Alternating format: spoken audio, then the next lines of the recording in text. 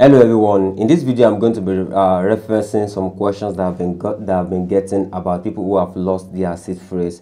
And this is not a clickbait. There is no way to recover your seed phrase if you've actually lost it. According to what we have now, there's no way to recover your seed phrase, but there is something you can do so that the next migration will not be migrated to the uh, to the old wallet because you do not have access to it any longer. So what you are supposed to do right now is to create another wallet. And i'm going to be taking you step by step on how to create a wallet. Many people seem to have created a wallet but they did not confirm the wallet. Even though it's still it's complete on their mainnet checklist they did not confirm it. So i will take you uh, step by step on how to do that. So going to uh, come in here this is mine this is my pi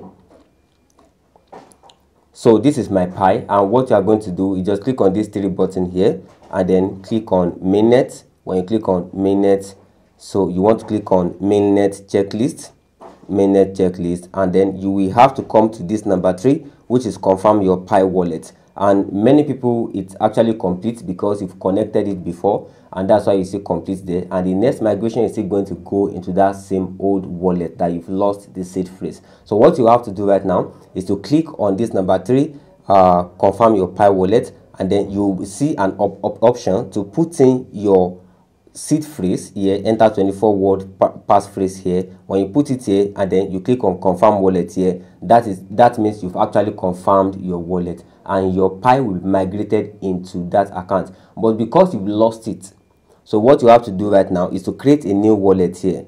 Create a new wallet and then you click on generate new wallet. If you click on generate new wallet so it's generating new wallet. So this is the new wallet that is created right now. So you have to copy this seed phrase here.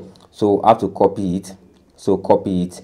And then uh you said i saved my passphrase so i saved my passphrase so now uh unlock pi wallet. So unlock pi wallet. You click on this and then you put the phrase there again. And then you click click on unlock uh unlock with uh, with passphrase so or let's do it. So you click on it here and then you click on paste and then click on unlock with passphrase.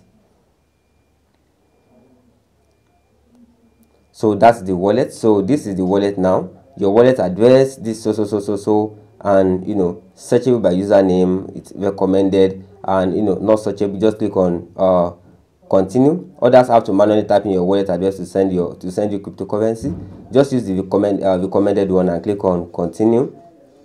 So now yeah the wallet has been created. So now let's just go back and let's go back.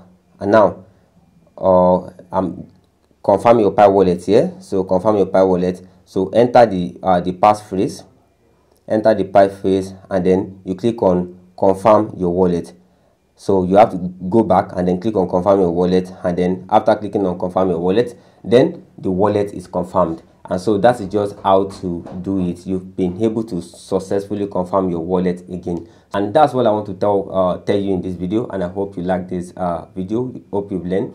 So can you like this video. Can you subscribe to this channel. And hopefully uh, see you in subsequent videos. This is entrepreneur hub. We are talking about entrepreneurship how to make money online and everything an entrepreneur needs to know. Hopefully see you in subsequent videos. This is entrepreneur hub